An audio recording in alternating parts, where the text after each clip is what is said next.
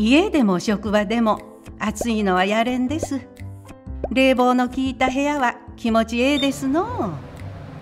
じゃがクーラーかけりゃかけた分だけどこか別のところが暑なりおりますで。どうやったらクーラー使いすぎんでようなるかいろいろ考えてみましょう。まずは半袖半ズボン。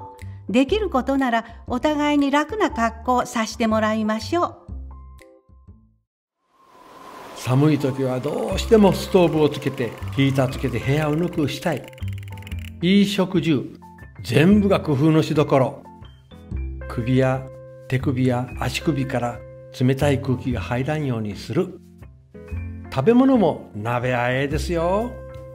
人が一緒に集まって食べりゃ電気も暖房もエコになる。部屋は湯気で暖かくなるし体も芯からぬくうなる。皆がマイカーを使わずに公共交通機関で行きゃ CO2 もぐっと減らせる。じゃがそうもいかん車社会。一人一人が我さえよけりゃをやめる。焦ってイライラせんように運転する。それだけで使う燃料もぐっと減るんよ。何しろ安全運転で事故もないなる。アクセルもブレーキもバタバタ不満のよ。ガソリンはよ見てるで。CO2 が何で出るか言うて車で移動するのがやっぱり大きい。生活全体の4分の1が人の移動で出るんじゃと。近いところは歩いてみたり自転車で行ったりちいとば体を動かしてみましょうや。気持ちもようなるし健康にもええよ。その車のキー置いていかりゃせんかいね。今は宅配サービスがあるから助かるが荷物が10個あったら2個は再配達になるんじゃげな。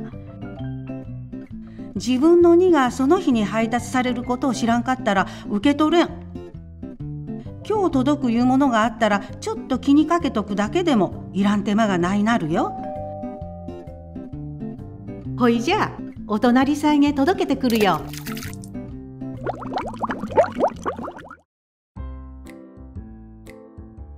日が暮れても尾道はきれいじゃのう。発光ダイオードいうのがあっての少ない電力で光るんよ。電球が切れて交換するときは省エネで性能のええ LED に変えていく。一個一個は小さなことじゃが積み重なって世の中の電球が全部これになったらボレー節電になるんよ。